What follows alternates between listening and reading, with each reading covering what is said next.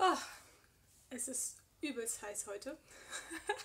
ich schwitze und bin in dem einzigen Raum, wo ich gerade meine Ruhe habe. Also relativ. Ich habe Milou hier mit ihrem Kätzchen. Ähm, aber ich denke, auch passend zum Thema, was ich heute besprechen möchte mit euch, ähm, passt es auch ganz gut. Also sollte, ähm, ja, was auch immer, ich sage jetzt mal nichts. genau, ich mache einfach. Also, ich spreche heute über das Gefühl Wut. Ähm, unter anderem inspiriert durch jemanden, der mich angeschrieben hat heute bei Facebook und gesagt hat, hey, erzähl doch mal mehr über die Wut, weil ich im letzten Video so einen kleinen äh, Anriss gemacht habe und es ist halt so ein großes Thema, dass es ein Video für sich äh, verdient hat, wenn nicht sogar mehrere. Ähm, also sagen wir jetzt mal, das ist Video 1 von meiner Gefühlsvideoserie äh, und die nächsten Tage wird dann noch mehr dazu kommen. Ähm, dieses Thema liegt mir sehr, sehr, sehr am Herzen, weil ich das Gefühl habe, oder weil ich weiß aus meiner Erfahrung, dass meine Gefühle der Kompass sind für mein Leben. Meine Gefühle navigieren, also meine Gefühle, Gefühle, ja, es sind eine neutrale Energie, die mich durch mein Leben navigieren können. Und es gibt sehr viele Misskonzepte über Gefühle finde ich. Und wir bleiben jetzt einfach mal bei der Wut. Ja? Also mein Lieblings-Glaubenssystem, äh, Glaubensmuster, was ich hatte, war, dass Wut das Gegenteil von Liebe ist. Also wenn meine Eltern wütend mit mir waren, dann war das für mich direkt gleichzusetzen mit, ähm, die lieben mich jetzt nicht mehr. So. Ich weiß jetzt im Nachhinein reflektiert, dass das totaler Bullshit ist und ähm, gleichzeitig ähm, ja, war das einfach so mein persönliches Glaubensmuster. Und ich habe es einfach über die Jahre, über die Reflexion erst erkannt, so dass jemand wütend sein kann mit mir und Wut fühlen kann mir gegenüber. Ähm, das aber nicht bedeutet, dass die Person mich weniger liebt. Also manchmal bedeutet es sogar, dass der Person sehr viel an mir liegt, weil sie sich dafür einsetzt, dass ich etwas verstehe oder mir ein klares Feedback geben will. Dazu komme ich später noch näher. Das durfte ich äh, durch meine Beziehung mit meinem Mann auch sehr lernen.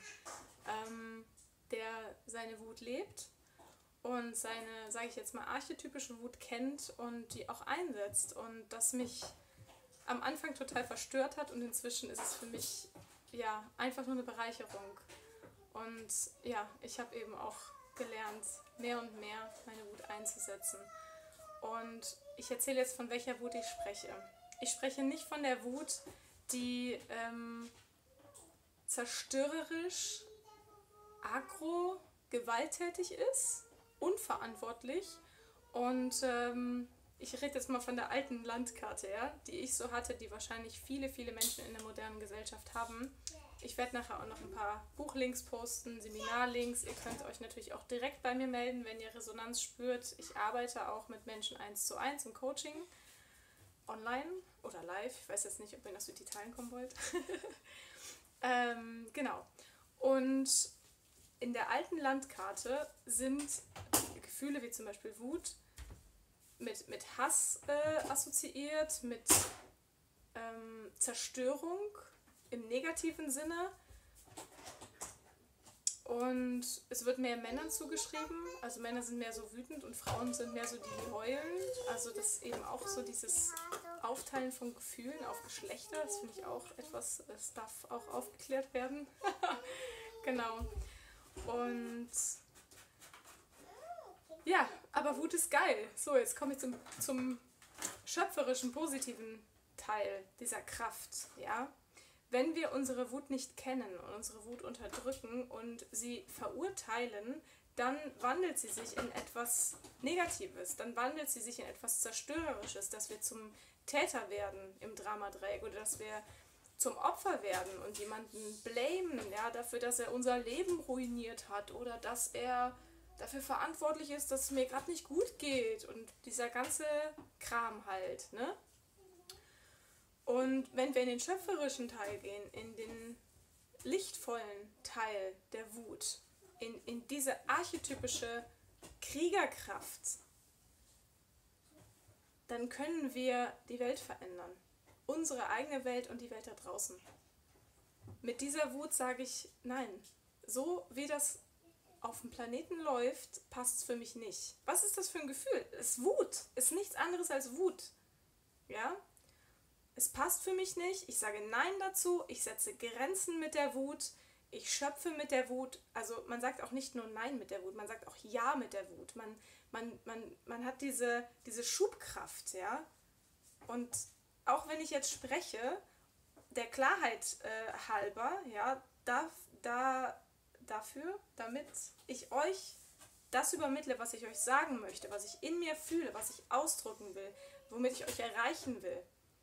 Dafür braucht es einen gewissen Prozentsatz an Wut. Ich nutze jetzt nicht 100% Wut, weil das ist überhaupt nicht nötig, aber vielleicht nutze ich gerade 15% meiner archetypischen Wut.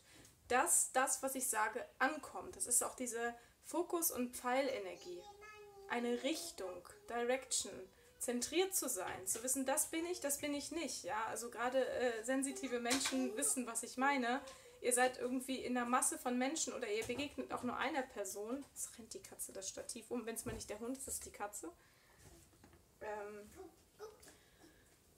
und dann ist es manchmal eben auch eine energetische Wut, einfach zu sagen, okay, das ist mein Space, das ist dein Space, ja. Ich muss nicht deine Energien jetzt gerade übernehmen oder irgendwas, ja. Ähm, genau. Und dann einfach zu sagen, stopp. Ja? Oder wenn jemand was mit euch macht, was euch nicht gefällt. Oder wenn euch jemand etwas sagt, dass ihr irgendwas seid. Das ist so, hey, stopp. Ja? Nicht mein Business, nicht meine Baustelle, was auch immer. Genau. Das können wir mit der Wut.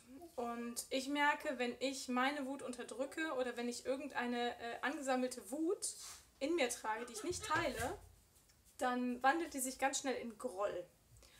Also ich bin zum Beispiel sauer, weil ich einmal, einmal mehr Teller abgespült habe als mein Mann, ja, und dann äh, bin ich morgen früh angepisst und mache ihm keinen Kaffee, obwohl ich das von Herzen gerne mache jeden Morgen, ja. Sollte ich vor ihm aufwachen. genau. Und das ist halt eben das Ding, dass wir uns wirklich bewusst sind, was macht uns wütend.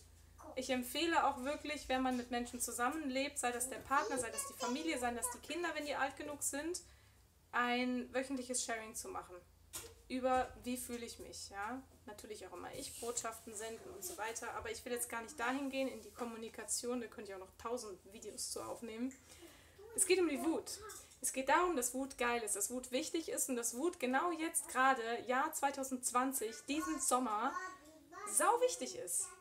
Ja, auch was euch für News begegnen, wo euch Leute äh, mit, mit irgendeiner Hysterie überschütten wollen. Ihr sagt, hey, stopp, das ist nicht, warum habe ich eigentlich die ganze Zeit diesen Ständer in der Hand? Das ist nicht meine Baustelle, das ist nicht mein, mein Weg, mein Konzept. Also, ja, sich abzugrenzen. Genau, summa summarum in die Richtung. Und ja, ich setze diese Energie meinen Kindern gegenüber auch ein, mit meinen Kindern, sie setzen die auch ein. Und wenn die wütend sind, dann sage ich auch nicht, jetzt schrei nicht so oder du musst dich doch jetzt nicht so aufregen, ist doch nicht so schlimm, sondern den Raum zu halten für diese Wut und sagen, hey, du bist gerade richtig sauer. Du bist gerade sauer. Du fühlst dich sauer, ja? Man ist ja nicht das Gefühl, sondern man fühlt es halt einfach, ja? Dass es durchfließen kann. Ja, und dass ich auch in meinem Leben Dinge ändern kann. Ja? Keine Ahnung, vielleicht habt ihr Ziele, die ihr nicht erreicht. Sagen, ich habe keinen Bock mehr von, keine Ahnung, 400 Euro im Monat zu leben. Ich will da eine Null dranhängen. Ja? Ich habe keinen Bock mehr, Single zu sein. Ich möchte einen Partner haben. So, Punkt. Ja? Da kommen natürlich noch andere Gefühle davor, ja, dass man die Trauer spürt, dass es nicht da ist und den Wunsch und die Sehnsucht, ja, das ist nochmal ein anderes Gefühl. Aber was dann folgt, ist dieses Bam. Und jetzt gehe ich vorwärts mit, damit, mit meiner Vision, mit meinem Wunsch, ja. Ich möchte ein Schulprojekt auf die Beine stellen. Ich brauche ein Team. Ja, dafür muss ich den Mund aufmachen, dafür muss ich in die Welt raus, dafür muss ich sagen, hier, das will ich, wer ist dabei? Ja, und auch mit diesem Scharfsinn. Scharfsinn geht nochmal in ein anderes Gefühl, da ist auch noch Angst mit dabei. Angst ist auch ein sehr verpöntes Gefühl. Ich glaube, das wird mein nächstes Video. Ähm, boah, da könnte ich ewig drüber reden, über Gefühle. Wirklich. Also, meine Einladung, schaut euch wirklich ganz tief an. Was habt ihr für Glaubensmuster oder was denkt ihr, was Wut ist? Wie äh, geht's euch, wenn ihr wütend seid? Verurteilt ihr euch? Denkt ihr, ihr seid schlecht gelaunt, wenn ihr Wut fühlt? Ja? Und ist es eine kindliche Wut, eine emotionale, aufgeladene Wut, ja, wo man vielleicht einfach tiefer mal schauen kann, was da im System hängt? Oder ist es eine Wut von wegen, hey, lass meine Freundin in Ruhe. ja, genau. Ja, und das, das gilt halt wirklich zu scannen. In was für einer Wut bin ich gerade? Ja. Und es ist so ein komplexes Thema. Es ist auch nicht einfach so, bim, okay, und jetzt shift ich in High-Level, äh, High-Drama, statt in Low-Drama zu sein, sondern ähm, es ist ein Weg. Es ist ein Weg und es ist eine Entscheidung und ich kann eigentlich auch in so kurzen Videos, ich habe immer den Anspruch, dass ich euch so mega den, die Erleuchtungsglühbirne über den Kopf zauber, aber ich kann euch nur Anstöße geben und ich kann euch nur äh, eine Spark rüberschicken und ähm, ja, findet einen Coach eures Vertrauens, findet ein Buch eures Vertrauens, äh, geht in die innere Arbeit, schreibt einfach mal nieder, ja, was ist Wut für mich, was habe ich über Wut gelernt, ähm, was kann ich mit meiner Wut erreichen, ja, vielleicht habt ihr zu wenig Wut in eurem System, ja, oder man hat immer Wut im System, auf jeden Fall, aber manchmal hat man so eine Schwelle an, an Taubheit, dass man die Wut erst spürt, wenn die schon da oben in, an so einem Aggressionslevel, äh, dann merkt man das erst. Aber so ein kleines Stückchen Wut, so, ey, knüttel deine Socken nicht da in die Ecke, sondern schmeiß sie doch in den Wäschekorb. Ich mache immer so Hausfrauenbeispiele. ja, weil ich einfach auch gerade hm, sehr viel Hausfrau bin. Oder ja, sehr, sehr viel zu Hause bin einfach. Genau. Es ist auch einfach zu heiß draußen. ja. Okay, ich schweife ab. Nee, tue ich eigentlich nicht. Also ja, das war eigentlich nur ein Beisatz. Und ähm, so lernt ihr mich auch kennen. So in diesen Beisätzen und äh, Seitenwitzen und was auch immer. Ja. Ich freue mich total, dass ihr, dass ihr äh, Themen bringt, dass ihr Fragen bringt. Ich finde das total cool. Also ich möchte genau das, also einen interaktiven Channel. Ja, haut eure Fragen raus, haut eure Impulse raus. Und du musst aufräumen. Siehst du, da spreche ich von den zusammengeknüttelten Socken. Sie kommt rein, soll ich will aufräumen. Okay. Okay, wollen wir aufräumen? Ja, aber mit dem Whizbang. Mit dem Whizbang. Von dem Whizbang muss ich euch auch noch erzählen.